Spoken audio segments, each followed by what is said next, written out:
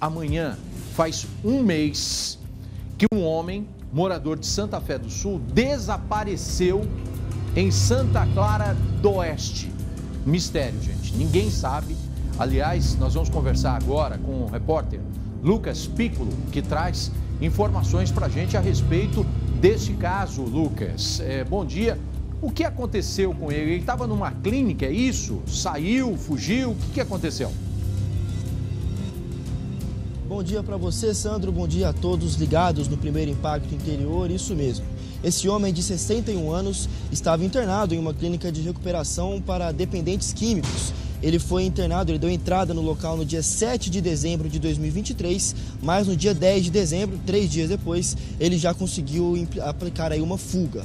A irmã desse homem entrou em contato com a nossa equipe do Primeiro Impacto Interior via WhatsApp, explicou toda essa situação. Esse homem já havia sido internado outras duas vezes na cidade de Araçatuba. A primeira vez ele conseguiu fugir e aí ele foi localizado, foi internado na mesma clínica na cidade é, por uma segunda vez, conseguiu fugir de novo e aí nessa nessa segunda fuga, ele conseguiu uma carona e retornou para a casa dele na cidade de Santa Fé do Sul.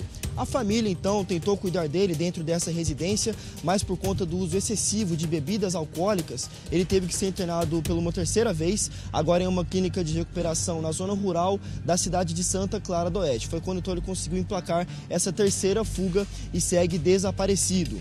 A mãe e a irmã desse homem é, gravaram um vídeo pra gente, fazendo apelo então, caso alguém tenha alguma informação desse homem, encontre alguém suspeito aí, alguém que esteja aí, é, talvez em situação de rua e aparente ter aí 60 anos de idade, né? Que entre em contato então com elas. Vamos ouvir o que elas disseram aí no vídeo. Ele fugiu de uma clínica, estava fazendo um tratamento e a família está desesperada, sem notícias. Então, nós estamos fazendo um apelo para que, se alguém tiver alguma notícia. Ele tem problema de alcoolismo e ele fugiu da clínica e, e a clínica é aqui na proximidade de Santa Fé do Sul.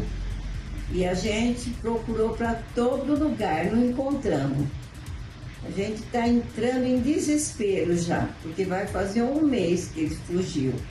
E nós queremos, pelo amor de Deus, se alguém encontrar com meu filho, que avise a polícia para segurar ele para nós. E a gente vai buscar. A gente consegue perceber a tristeza na voz, né? Tanto da mãe quanto da irmã também. Esse homem, apesar desses problemas de dependência química, era uma pessoa próxima, uma pessoa que tinha o carinho da família. Então a gente reforça aqui também esse apelo. Caso alguém encontre alguém suspeito aí nas proximidades dessa clínica, na cidade de Santa Clara do Oeste, alguém que esteja ali talvez em situação de rua, aparente ter 60 anos, que entre em contato então ou com a polícia ou nos avise aí, nos mande mensagem pelo WhatsApp do Primeiro Impacto Interior que a gente passa tantas vezes aqui durante o programa, né, Sandra? É, com certeza. Ó, a bebida alcoólica é um problema sério, além da, das outras drogas ilícitas, mas essa daí é uma droga lícita que está sendo vendida abertamente aí, infelizmente é um problema sério e cada vez mais as pessoas começam ainda mais cedo né, na, na, bebida alcoólica. E um senhor de 60 anos, você vê aí como consequência tendo que ser internado, isso daí é, é praticamente o último estágio da pessoa, né? Quando a família não vê outra forma a não ser a internação dela. Né? O, o rapaz saiu, pode estar em qualquer lugar, pode inclusive ter vindo aqui para a região de São José do Rio Preto. Né? Porque Santa Fé do Sul, Santa Clara do Oeste, ou seguido lá para Mato Grosso do Sul. Então, o que a gente pede é, é, é o apoio seu que está aí em casa assistindo aqui o SBT Interior. Né? Tira uma foto aí da tela com a imagem desse senhor, de como ele pode estar agora né, bastante debilitado devido ao uso de, de, bebida alcoólica, né, mas por a abstinência ele pode ter saído para qualquer lugar. A gente fica aqui, é, inclusive a, a família me procurou nas redes sociais também, né, eu também publiquei lá e é o, o pedido que a gente faz para a região, né, para tentar achar esse rapaz. Muito obrigado, Lucas, pelas informações.